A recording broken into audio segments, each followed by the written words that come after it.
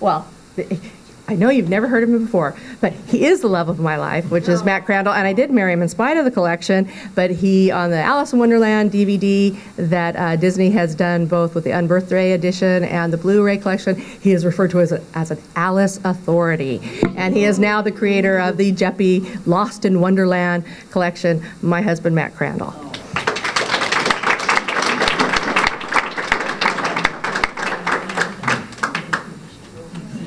All righty. Oh, thank you. Take it. Excellent. This one? To the right. Good afternoon. I'm here to talk about everybody's favorite subject, Disney's Alice. um, the title of my talk is Alice in Disneyland, but it's not about Disneyland. Alice in Disneyland actually came from this article in an old film review book from England where they referred to the world of Disney films generically as Disneyland. And also the banner at the top of the, all of the slides is actually ribbon that also came from England. Um, that calls it Alice in Disneyland. And I don't know if it's a phrase that originated in England or if I've just only found English things that say Alice in Disneyland, but it sounded like a catchy uh, title, and I'm sure Walt stole it when he, you know, designed his theme park four years later. So the history of Disney and Alice goes all the way back to the founding of the Walt Disney Company. In 1923, um, Walt was still in Kansas City working for company called Newman's Laugh-O-Grams, and they made short, very short animated commercials for local businesses that would, you know, screen on the local movie theaters. And that company was going under. And so what he did was he hired um, this little girl named Virginia Davis, and he created a little short called Alice's Wonderland, and he was using it as his his promo reel for himself to start up a new animation company. And so he would send this reel out to all of various movie studios saying, hey, I can make these really cool uh, short subjects featuring this live little girl in this animated Wonderland. And in uh, the fall of 1923, he moved to Los Angeles with his brother Roy, signed a, a deal with uh, Mintz and Winkler, uh, which later became Universal, and the Alice comedies were born. Um, there were 57 Alice comedies produced over the period of four years. Uh, sadly, 17 of those films are now lost. But Alice was what founded the Walt Disney Company in 1923, not Mickey Mouse.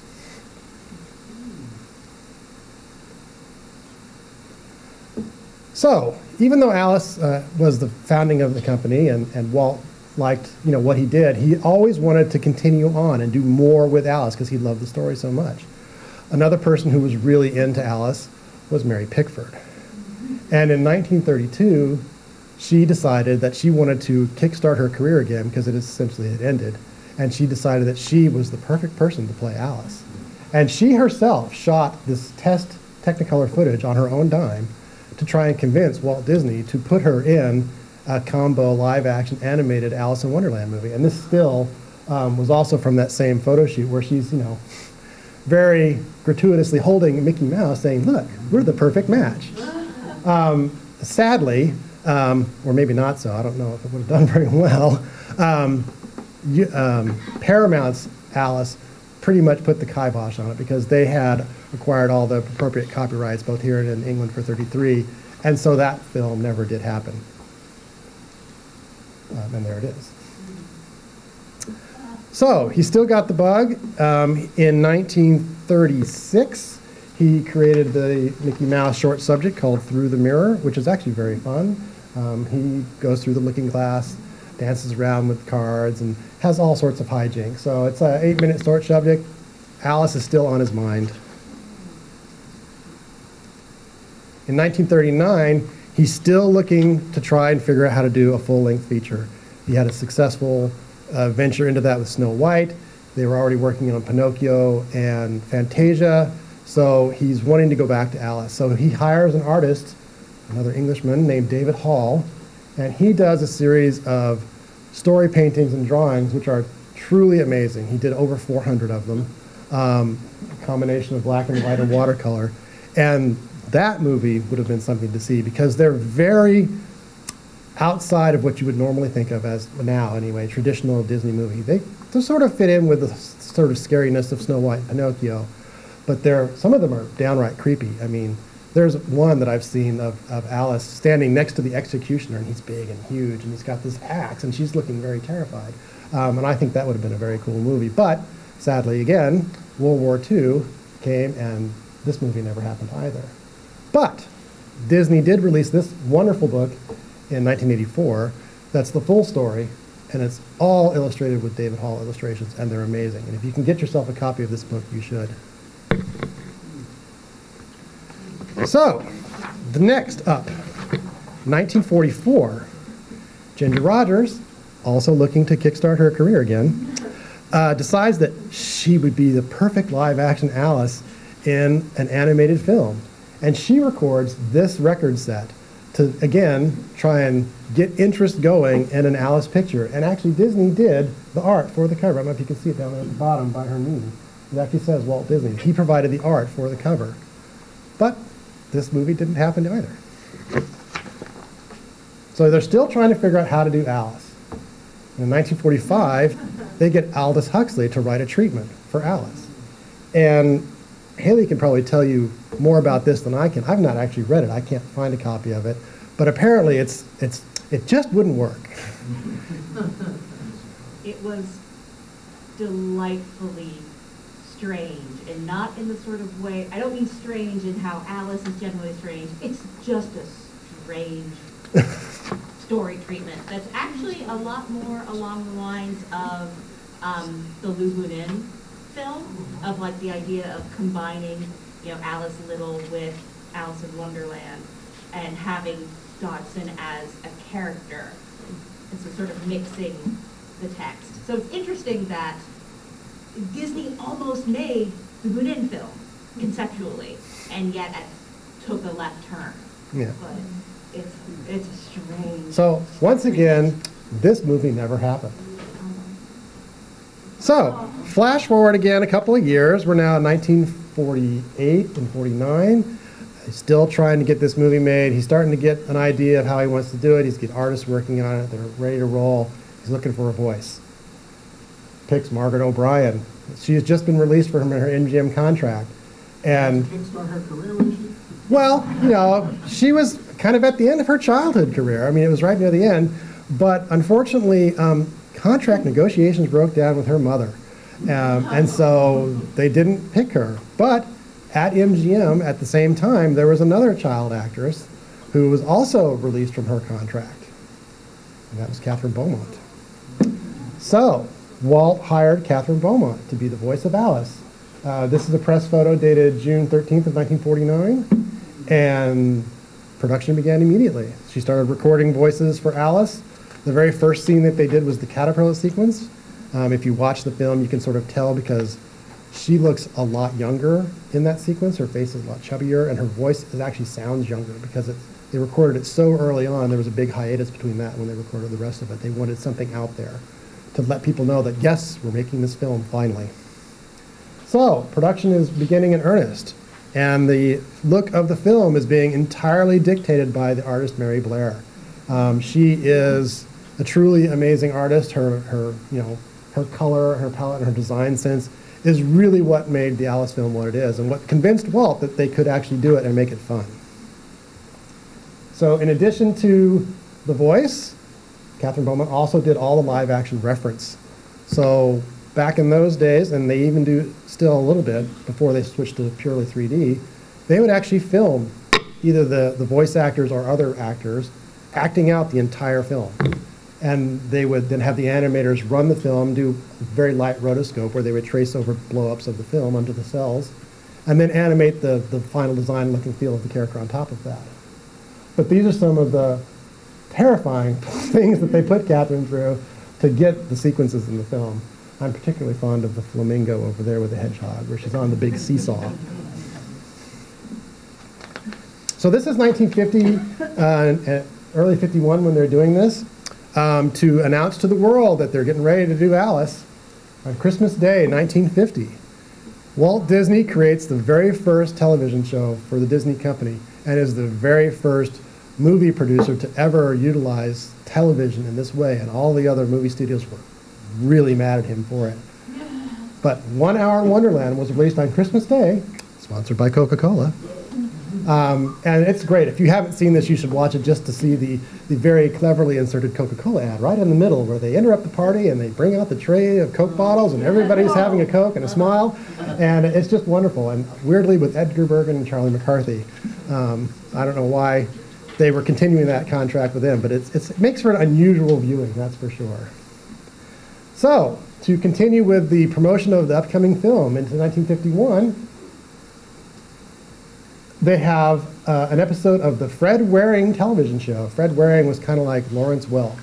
Um, and in March of 1951, uh, Kathryn Beaumont and Sterling Holloway both traveled to New York to film this live episode of the Fred Waring show. And where this, it was the entire second half hour of the show, they uh, acted out the sequence of, of Alice meeting the Cheshire Cat in the Tulgey Wood, um, and also a weird Tea Party sequence with the entire cast of the Pennsylvanians as the Tea Party guests. And what's really neat um, is if you see the backdrop, like of where the Cheshire Cat is and the leaves behind Kathryn, all of the sets were painted on location by Mary Blair. She came with them and did all of the set painting, and I would love to know what happened to those. and of course, the Fred Waring Show, sponsored by General Electric, and they don't let you forget it.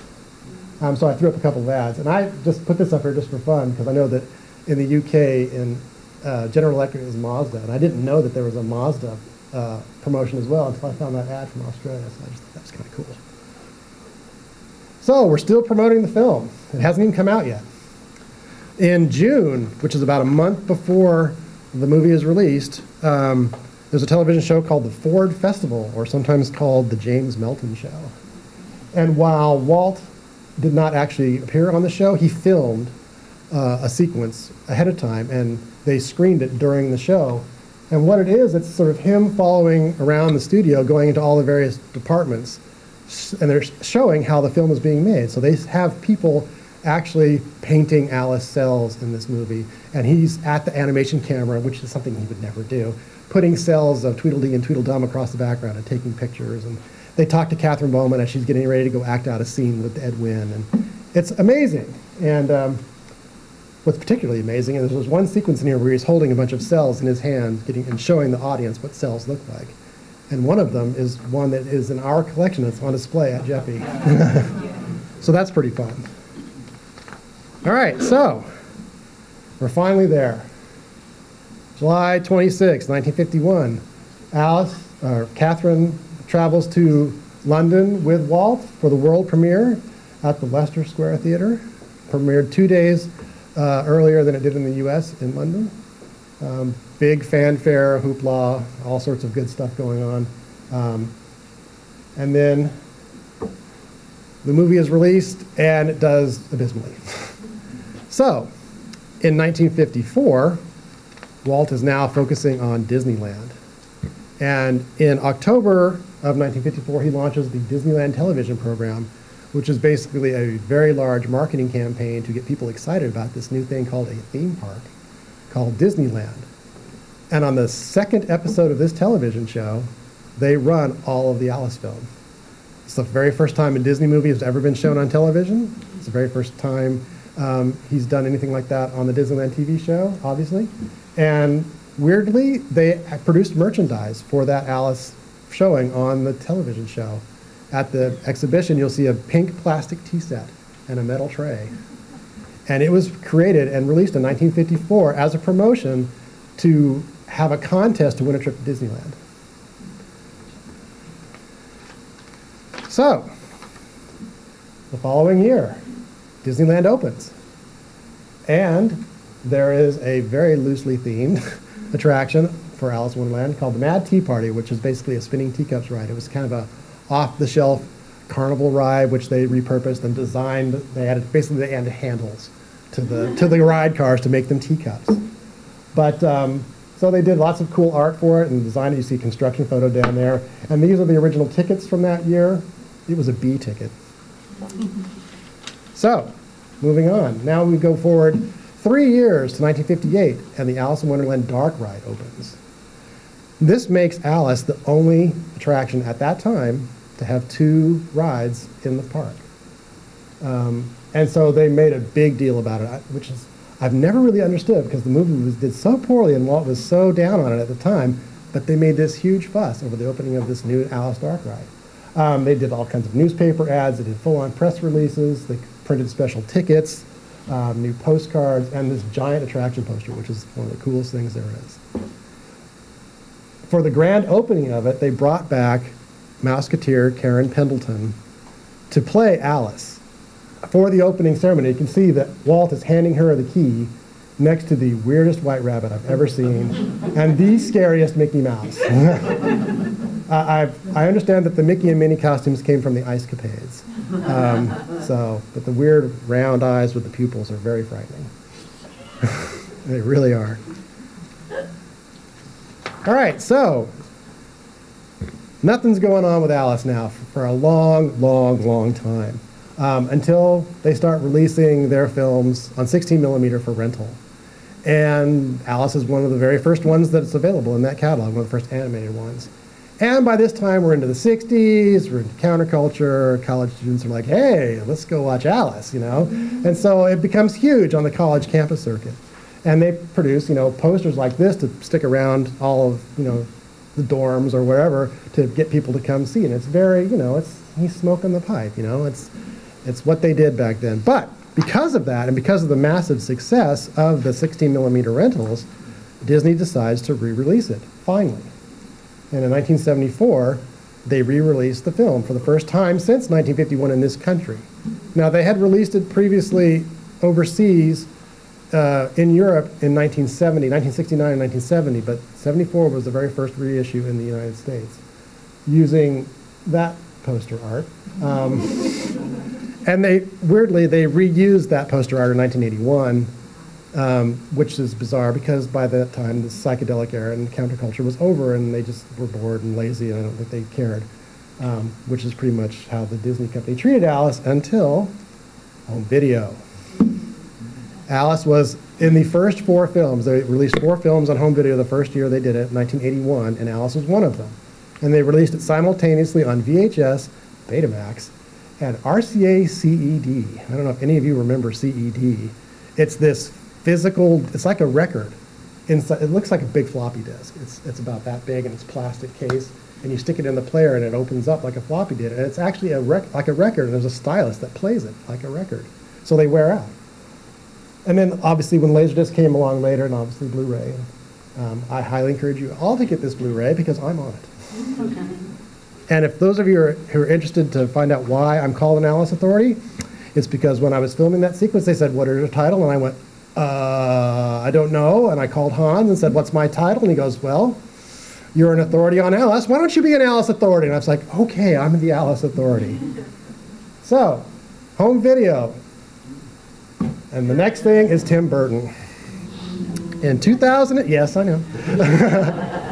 it still counts. In 2010, Disney decides to, you know, mine their vault of properties with their new theme of doing live action based upon their animated films. This was the first one. And um, they made Alice, what they called Alice. I don't think any of us agree that it is truly Alice, but there it is. It is massively successful. It's the highest grossing Disney film ever in history. Made a billion dollars, a billion dollars worldwide, guaranteeing a sequel, which is coming out next month. And as a result of that, they created at Disney's California Adventure the Mad Tea Party. This is like a Disney rave. I swear, it's about the only way you can describe it. It's, it's like a dance club. Um, it's got their own DJ, DJ Rabbit there in the lower left. It's got, you know, Alice in Micro Mini with thigh high stockings, and the band that's all based on characters. You know, the Mad Hatter and the March Hare play guitar, and the Caterpillar plays the drums. I mean, it's it's really strange, and you can get alcohol and just get you know completely blitzed and have a great time and dance, and it's really popular. And it ran from with one break, it ran from 2013 until just this past February, right? Closed for the last time. It, it only plays during kind of the Yeah. summer months, but it, it's starting up again Yeah. in May. So Still going on? it's massively successful. I mean, they, they had a hiatus when Frozen came out because they had to have the Frozen experience. But this took over from the Tron experience, and this has been way more successful. So despite their, you know, blasé attitudes towards the Alice property over the years, it still continues to do very well for them. And of course, leading up to the TV show Once Upon a Time in Wonderland, capitalizing on the very, very popular Once Upon a Time TV series, they started creating new spin-off series about various other properties focused specifically on them, and Alice was the first one. Um, it wasn't successful. Um, it lasted one season, but the character that plays um, this character right here, um, he did migrate into the main series. Um, and so it, his character continues, but the series itself is gone. And that brings us to next month, sequel to the Tim Burton Alice, which is now the Tim Burton Looking Glass. Um, I don't know what this is going to be like. I haven't seen it. I've seen some previews. It Looks pretty similar, but I think the good thing is, in my opinion, that Tim Burton is not actually directing it. He is just producing it. But all of this popularity and success of the past few years with Alice has finally sort of sunk in with the Disney collective consciousness. And just this past Tuesday, they released this book, which is kind of like an expanded version of this talk. It is Alice's illustrated journey through time at the Walt Disney Company, um, written by Mark Salisbury, who writes a lot of art books for Disney. He did the art of the Burton Wonderland, and he did a bunch of art books for mu- multiple studios. So it's very pretty. I just received my copy on Tuesday. Um, they use a lot of great art. They have a ton of Mary Blair and David Hall art in it. Um, and they talk about most of the things that I talked about. Um, they didn't go into the sort of minutia of leading up to it that I do, but um, it's pretty. Um, I haven't read it yet, but it's, it's very attractive. and all this leads up to finally the Lost in Wonderland exhibit, featuring the Crandall collection at Geppi's Entertainment Museum, which I hope everybody will see tomorrow. Thank you.